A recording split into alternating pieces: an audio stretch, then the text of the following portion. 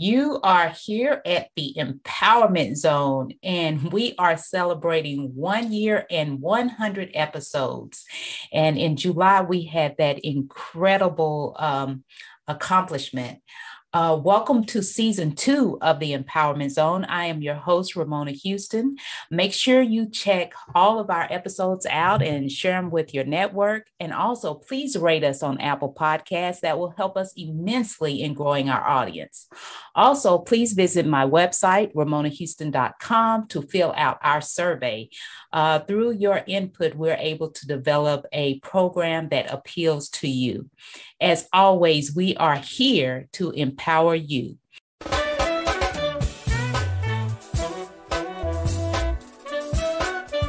Welcome to the Empowerment Zone with Ramona Houston, where we zone in on Black and Brown relations and our journey to empowering our communities. Music is one of the arts that inspires and empowers many of us. And in each generation, there are artists uh, who push the limits in terms of innovation and creativity. And right now, Atlanta, America, and the world are inspired by Russell Gunn and his Royal Krunk Jazz or- Orchestra. And today we're going to talk uh, uh, to Mr. Uh, Russell Gunn, who's a composer, arranger, and musician. And he just released his uh, latest CD, The Sirius Mystery, uh, through the Royal Krunk Jazz Orchestra. Born in Chicago and raised in East St. Louis, Illinois, Russell Gunn is a pan African composer, producer, and trumpeter. While his initial musical interest was American hip hop, he has been celebrated as a jazz trumpeter from his early years to this day. In high school, uh, Gunn was named best all around trumpet player in the country in a field that included college and professional players. Gunn declined scholarships from major universities, including Berklee School of Music, to attend the historically Black college, Jackson State University. In 1993, Russell moved to New York, performing as a member of the Wynton Marsalis Big Band, known now as the Jazz at the Lincoln Center. He was in the trumpet section with Marcus Printup and Roger Ingram, and on the Pulitzer Prize winning jazz oratorio Blood on the Fields, composed by Marsalis. His first recording was with uh, the great alto saxophonist and St. Louis native Oliver Lake on the album Tribute to Eric Dorsey. Russell um, excuse me, Eric Dolphy, excuse me. Russell Gunn has performed with the best in contemporary music, Oliver Lake, Branford Marsalis, Jazz at the Lincoln Center, Maxwell, D'Angelo, Angie Stone, Jimmy Heath, Roy Hargrove Big Band, Lou Reed, CeeLo Green, Neo, Marcus Miller, Benny Golson, Young Jeezy, Joy, Les Nubian, and Harry Connick Jr., and so many more. He has achieved two Grammy nominations for the albums Ethnomusicology, Volume 1 and Volume 2. Gunn is the founder, composer and director of the contemporary big band, the Royal Krunk Jazz Orchestra, with two releases today Get It How You Live and Pyramids. Get It How You Live introduces us to the band, expressing their contemporary style and leading us toward Gunn's seminal work, a trilogy that represents the artist's search to tell the expansive story of the African diaspora and the rich history it carries. Pyramids is the first in a three album set that carries us further into Gunn's Gunn's world of discovery and expression. Pyramids delves musically into the true splendor of the Kemetic and Nubian peoples, whose accomplishments have been buried through years of rewritten European history. In the second album, titled The Sirius Mystery, Russell Gunn goes further into the concept of orals tradition that has been overwritten by the European technology. Following an ancestry tracing, Gunn found his roots in Mali, which piqued his interest in the country and, and specifically the Dogon uh, people. People whose knowledge of space and planetary positions has stunned other African peoples and has brought forth the ire of the Eurocentric scholars eager to dispute that any knowledge could have predated theirs, particularly the Dogons. The intent is serious Gunn is on a mission to contribute his knowledge through art to our further understanding for the world we have inherited. Welcome, Mr. Russell Gunn. I am happy to have you. Thank you. Thank you. I'm glad to be here. Yes. So, uh, you know, before we get there, before we delve into your uh, latest release, The Sirius Mystery, um, can you give our audience a little bit about your background, your personal history, and uh, how you uh, got into music? Okay. Um, I mean, it, it's I don't know. It's just it's quite a interesting and a long story, but I guess to to um to um put it in a in a in a neat nutshell is that I mean musically I've always been it's always been what I've what I've done. Even before I became, um, even before I, I took up the instrument, the trumpet, at the age of ten. Even before that, I was always like like most um, musicians. I grew up um, going to church every every Sunday, and um, I used to. What first what first caught my attention was was the um, the organ in the church, just because of how it looked and I was um, completely amazed that um, there was so many keys on so many keys on that thing, and and the and the and the organ player would could could could make people feel a certain way by the way he was uh, manipulating all of all of the devices and the keys on the thing. So that you know that initially piqued my interest. And you know, long story short, um, you know, back in the day, when there was still music in the school, mostly, I mean, from an early age in school. So at the age of 10, uh, um, I took up the trumpet, and that's um, pretty much how I got started in in in music per se. Uh, per se. So, what what how did how did trumpet become your voice of choice? Well, well actually, the reason I, I chose the trumpet is, I mean, it's not even a real reason. I wanted to, well, you know, in the fourth grade, in the old days, when um, they would ask you um, when, if you were interested in playing an instrument, they would ask you which instrument you wanted to play. And initially, I want I wanted to play the saxophone because all of the um, you know all of the songs on the radio, if they had a solo in them, it was either guitar solo or saxophone solo, and I and you know and so that's what I identified with. So that's what I wanted to play. But it just so happened um, my best friend at the time, he um he wanted to play trumpet. And he's like, he's like, come on, man, let's play trumpet together. I was like, all right, I don't care. I mean, you know, I just wanted to to play some music. So, and that's the reason I, I started playing the trumpet actually. So, looking at your evolution in, uh, you say you were born in Chicago and raised in East St. Louis. Mm-hmm. Uh, do you have any influences uh, that help to contribute to your interest in in pursuing music uh, during your time in East St. Louis? Because so many greats came out of East St. Louis. When you look at the arts, mm-hmm. uh, Katherine Dunham, Miles Davis, mm-hmm. um, St. Louis, the dancer, Josephine Baker was out of St. Louis, not East St. Louis, but there are many others that came out of East St. Louis. What well, Baker was from East St. Louis. Oh, I didn't know that. I thought she was, but she, I thought she was St. Louis all this yeah, time. She's an East St. Louis South End girl. Mm. So, with that being said, what were your influences in terms? And I'm not just talking about professionals; I'm talking about educationally too. Mm-hmm. Who were your influence that made you want to pursue uh, music and and and move forth in that career? Well, like as I said, I uh, I started playing the trumpet, and, and naturally, I don't think I, I, wasn't really. I'm not really a gifted um, trumpet player naturally. But playing the trumpet is it's um it's a really hard thing to do.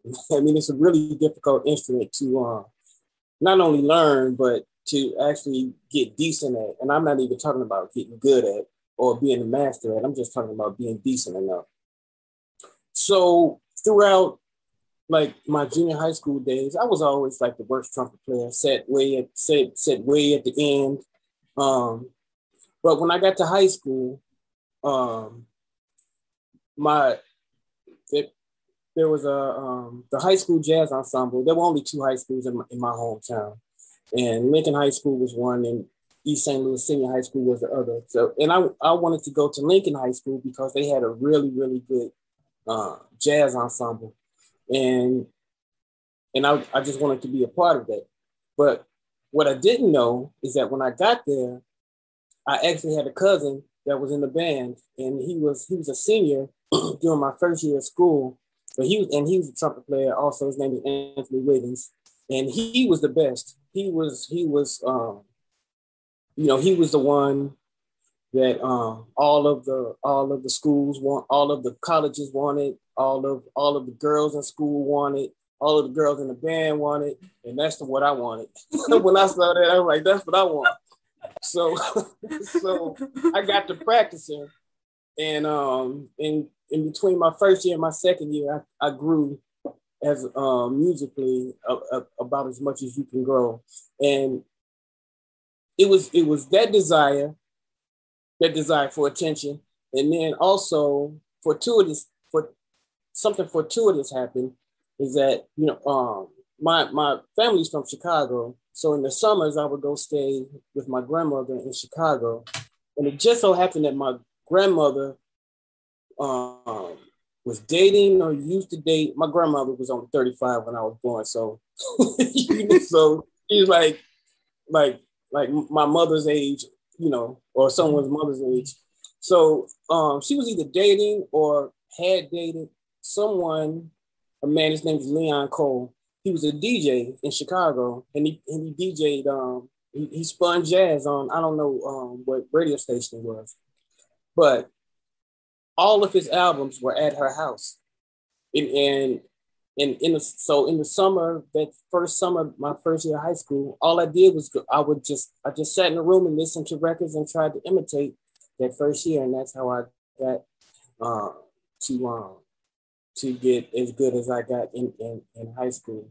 And, and of course, it helped that our high school band director, name was Ron Carter, not to be confused with the bassist Ron Carter, but he was, um, um, every time I talk about him, it's kind of hard to, to um, put into words the kind, uh, the man he was and what he meant to all of us because he was, um, um, it was it was more than just like a musical education. It was like father figure for for uh, most most of us.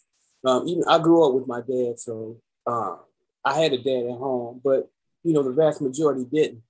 And um, so he was a father figure to most um, most other people.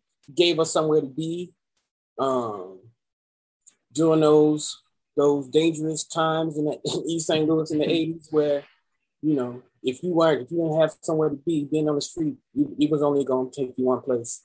And um, so yeah, so um, those two, that combination of those two things, um, pretty much set me on my path. Yeah, so interesting how family, friends, and educators really help to shape our lives and really direct us to where our um, purpose is meant to be. And so, mm-hmm. thank you for sharing your personal story and background with us on how Russell Gunn became Russell Gunn in terms of the musician.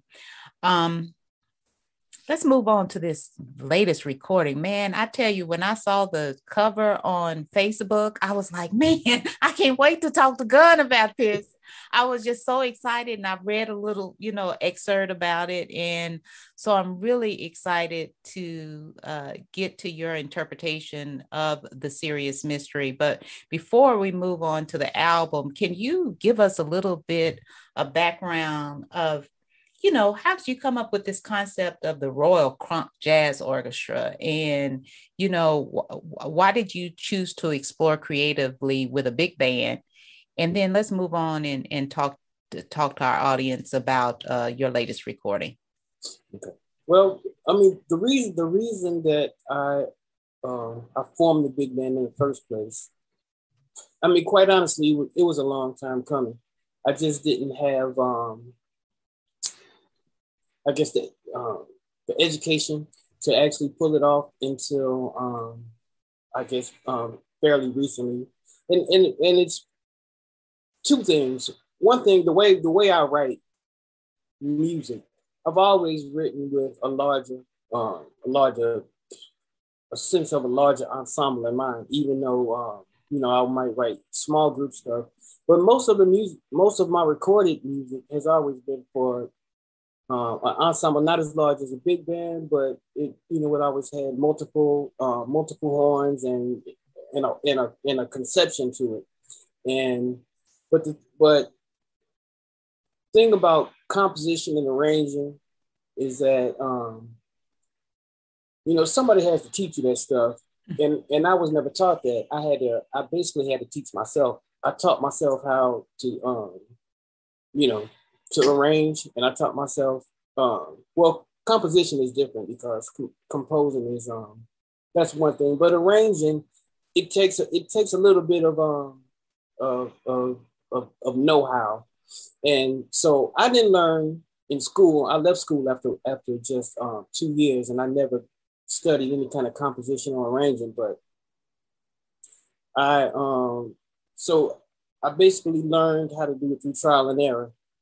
And um and, you know, I can remember like the, the very first time I tried, I was like, oh my God. And I and I, and I, and I gave the music to the band and the, and the, the sound came back. I was like, man, what? I was like, cause I, you know, cause I just didn't understand the math of it. Mm-hmm. And um, so, you know, I've always written for a large ensemble, but I've just now through a lot of trial and error and self learning that I figured out um, how to uh, how to actually execute it. I guess.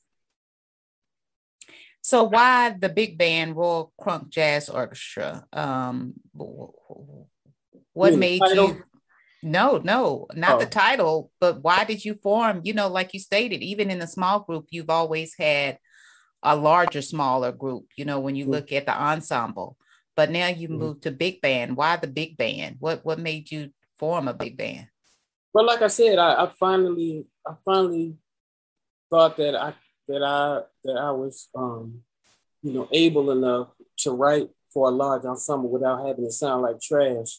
And um, so that's what I so that's what I did. It, you know, every I mean, I guess every every journey or every step in the journey is just like one building block or one step to leading up to where, wherever you're trying to go. And this is where I was trying to get to. Um, it took it took a while for me to get there because I had to learn it myself. But um, I'm glad I I'm glad I learned it. You know, in hindsight, I think I'm glad I learned it this way because I do remember some of the um, my freshman classes in in um, in college about um, European um, European uh, arranging, I guess, it, and with, with, with, the with the rules, with the very strict rules and, and things you could do and things you couldn't do, which you know sometimes you know they're there for a reason because um, they kind of glue everything together. It's it's really hard to describe, but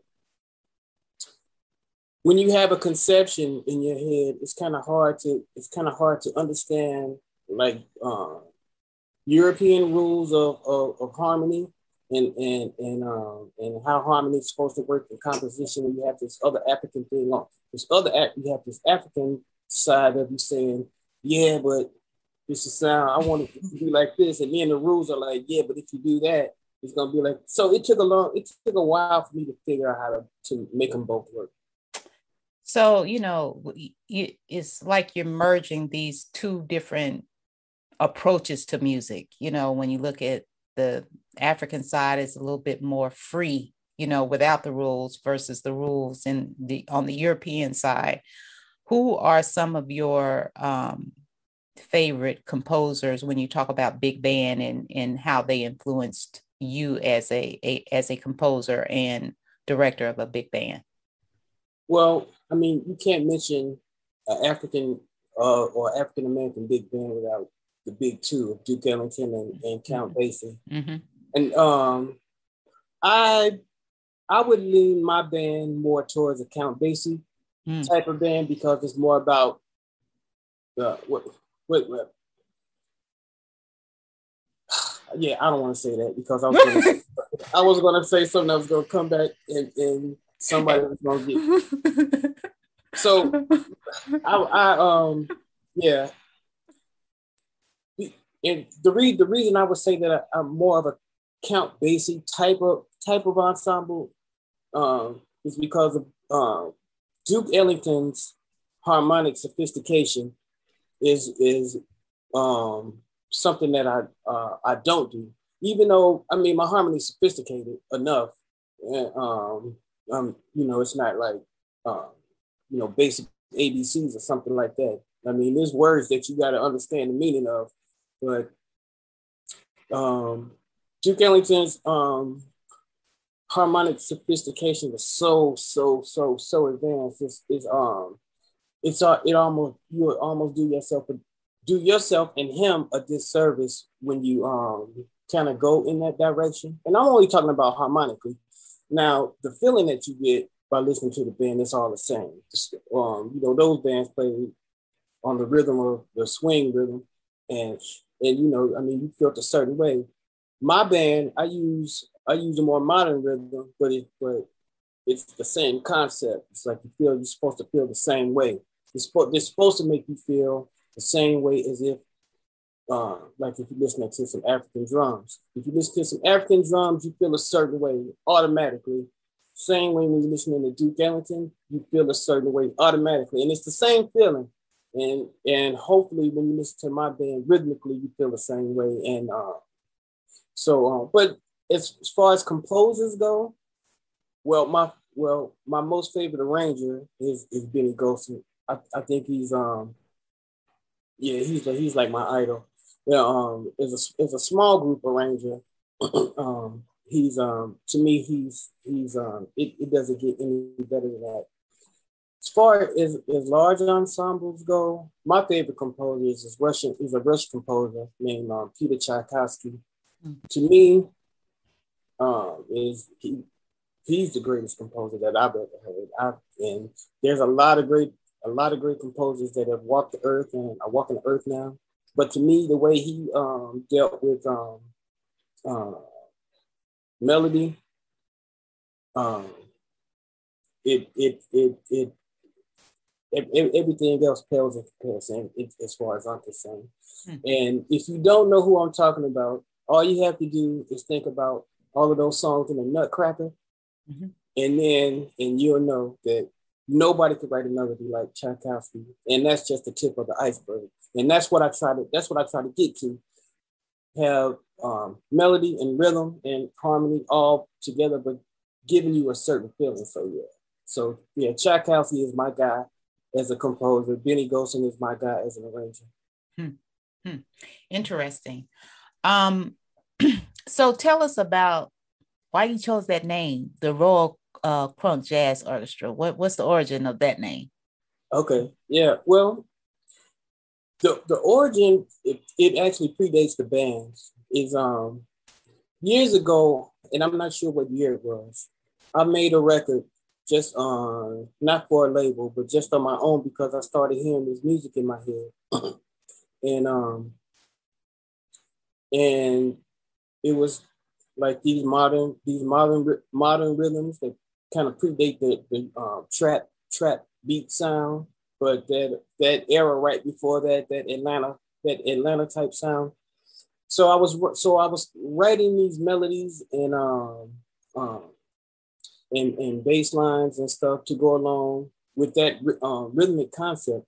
And also, um, I, um, I had I was working with um, a saxophone player named Daryl Reeves, and we were working working on um, music um, that kind of kind of fit that rhythmic concept together.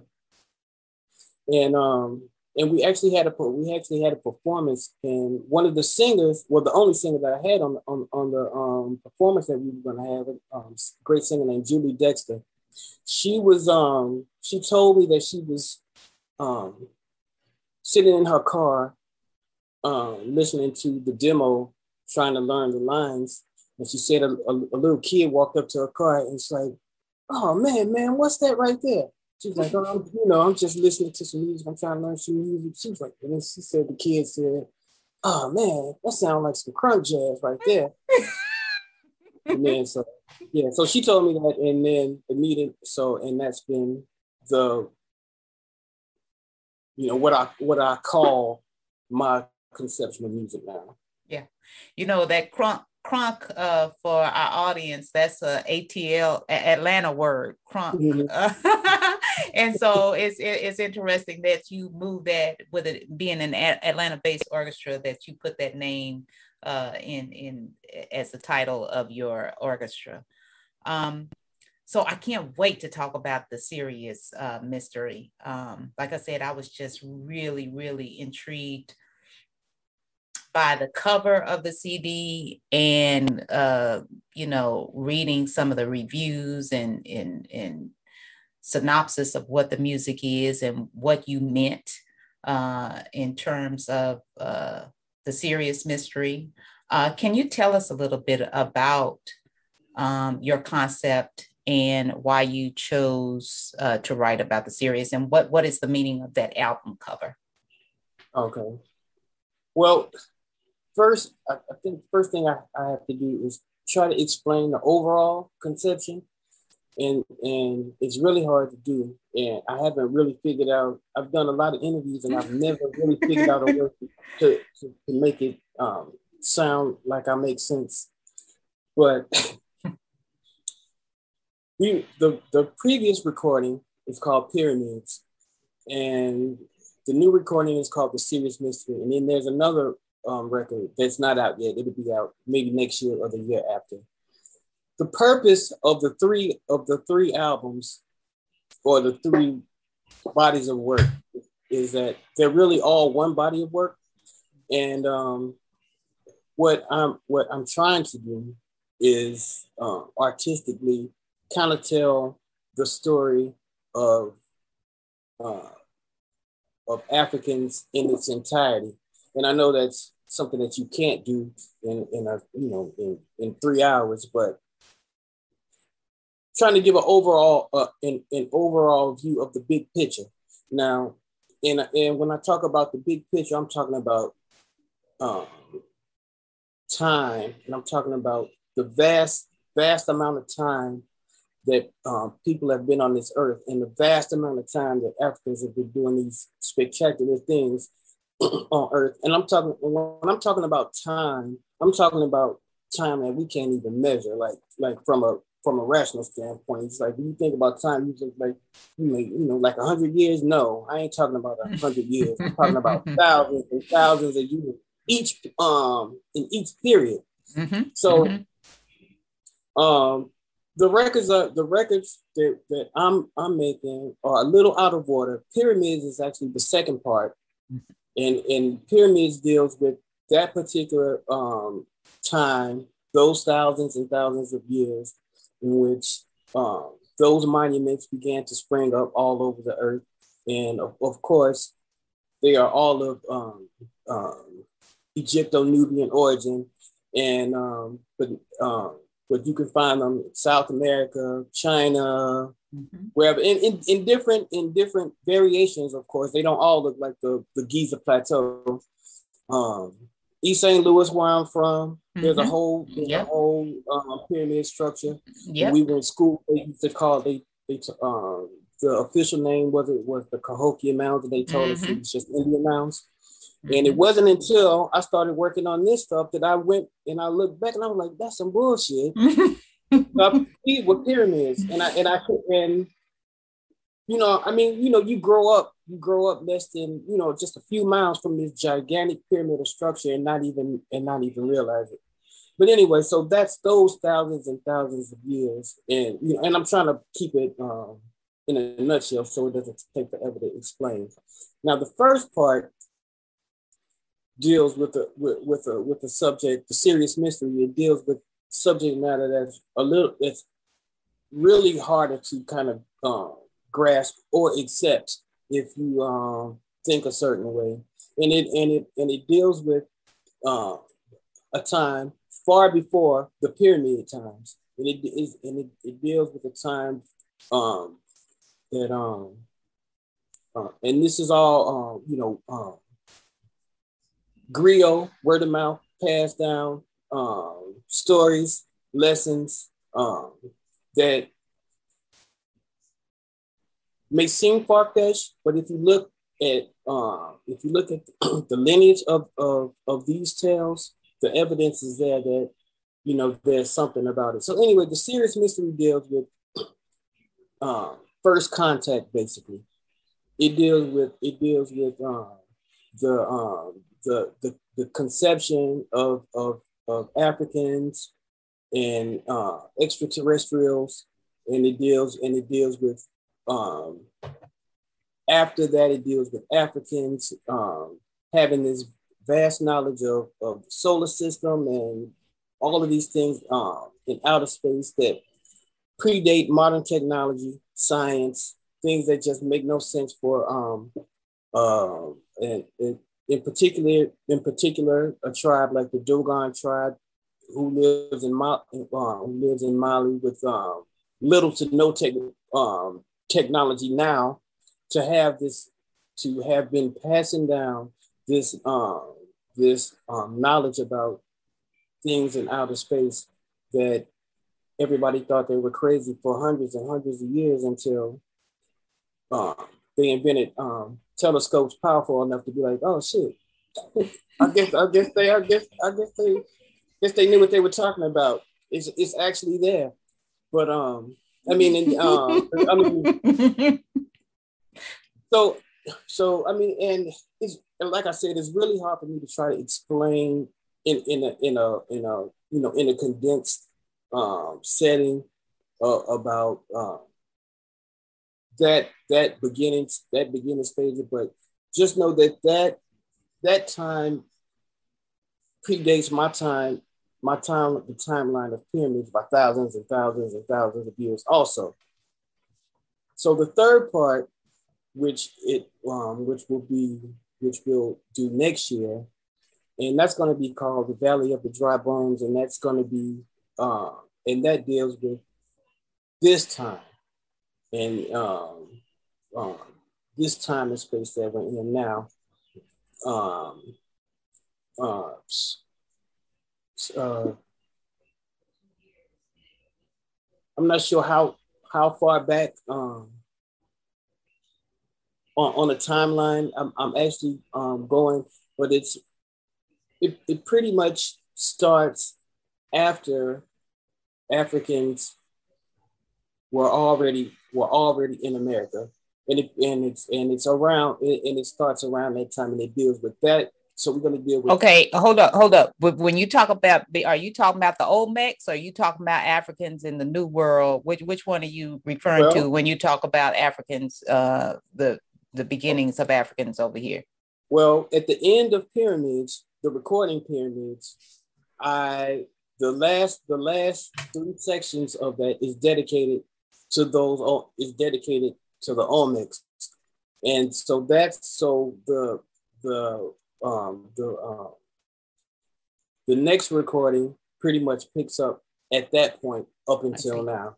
So yeah, we talk yeah with um Olmec, Aztec, Toltec, um everything from Central America to South America to Peru. With, with that's all. That's all. Um, we, we I talked about that um, musically at the um, as the last section of pyramids, and it's and to, to tie it into what we're talking about, and it's because I think the last three sections of pyramids is the voyage of the pyramid builders, which talk which I'm talking about those Africans moving out into the rest of the world, Olmec and um, the pan, and then the last part is called the Pan African Benediction because um, that's when we're going to start talking about this story of us where we are now on the next recording.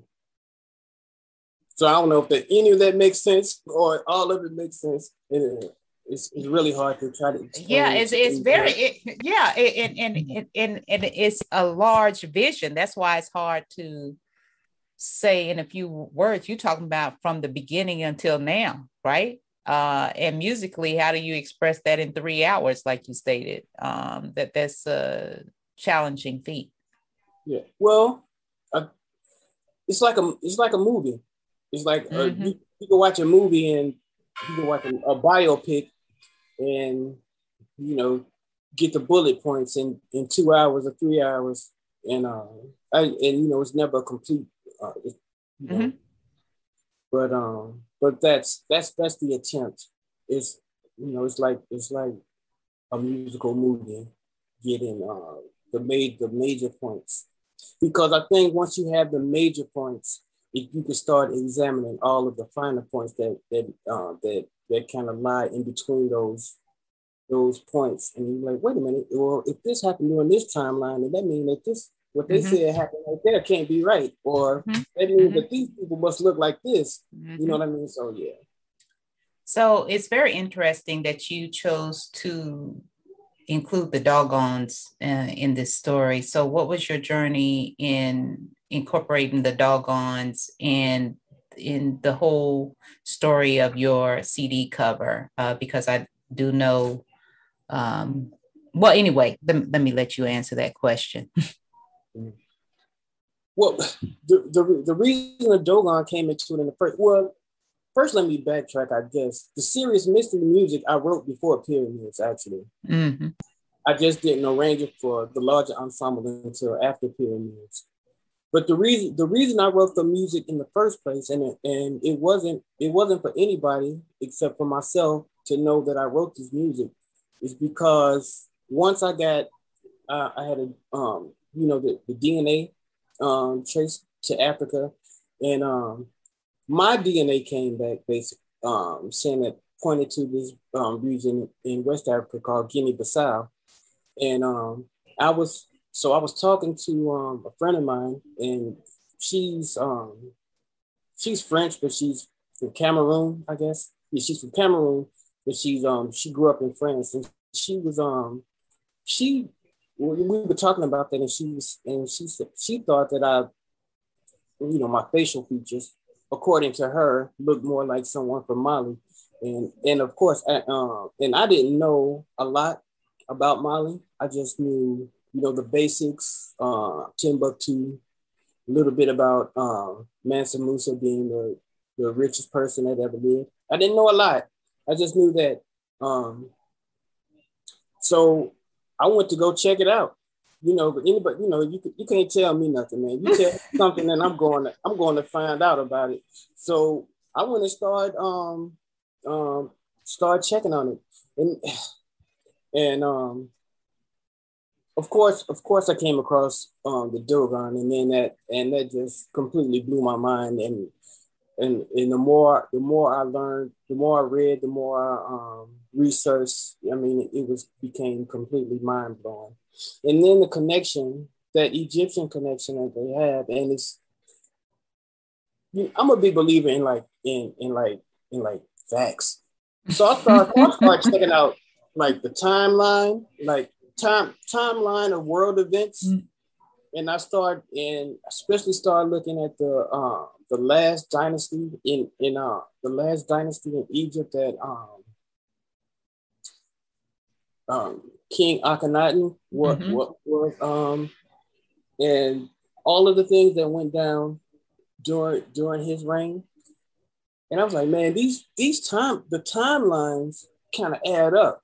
I mean, I mean, I mean, of course, you know that you know we like like all of these Egyptian stories are the stories of of, of Christianity now. Just mm-hmm. just um, yeah. just it's just a, a reworded story. So man, I, I started looking. I'm like, man, I think you know these these timelines are adding up for these people to be those people. Mm-hmm. You know, I think those people are those people that did what they said these people did. I mean, I'm not gonna get in, into into um all of that, but just know that like timeline wise, stuff started making making sense. Mm-hmm. And when I, and I started reading books about um, Dogon and, and the Dogon glyphs that mm-hmm. how they mm-hmm. and how they're um, similar and all of the and all of the, the how symbols and, and, and what we call Egyptian hieroglyphs all are all meaning the same thing. It's like okay, and then and then together with the timeline, it's like okay. So yeah, so I the connection is is definitely is definitely that. Um, so um, that's uh, that's um, that's what got me started in on Mali, basically. Mm-hmm. Yeah, I knew there was a personal connection with you to Mali, and I wanted you to share that with the with the audience. And so, when we look at the cover, what are we seeing? Well, the the cover of the Sirius Mystery, it actually it's actually um it's actually um coordinates coordinates in um, um space and um uh, I think there's four maybe and one of the coordinates um leads directly to uh, um, Sirius and the other coordinate leads to Egypt the other coordinate leads to Mali, hmm. and the other coordinate leads to Atlanta. Hmm. I love it. I love it. So you connect connecting all those coordinate coordinates through your own experience. Yes, ma'am. Mm-hmm. Mm-hmm. So congratulations on the release of the Sirius Mystery. Um, I'm really happy for you and proud of you. Uh, congratulations on your success with the Royal Krunk Jazz Orchestra. Um, one of my favorite performances uh, of you, I've seen you perform quite a bit, was during the um, Atlanta Jazz Festival in 2019 and, and doing the Black National Anthem. I that was just so moving. Uh, for those of you who want to check that out, I'm sure it's on YouTube.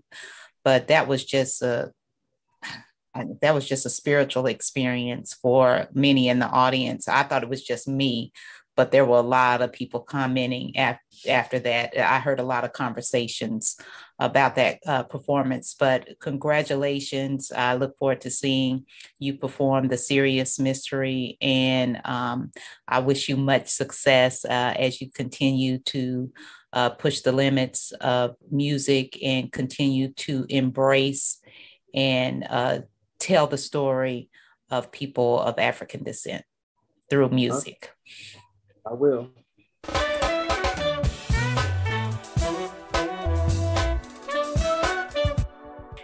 So we're moving on to our uh, college success portion of our interview.